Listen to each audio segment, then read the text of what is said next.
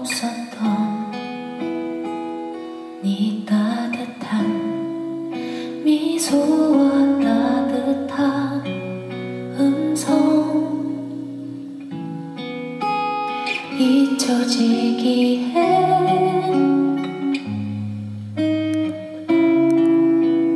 너무 선명해.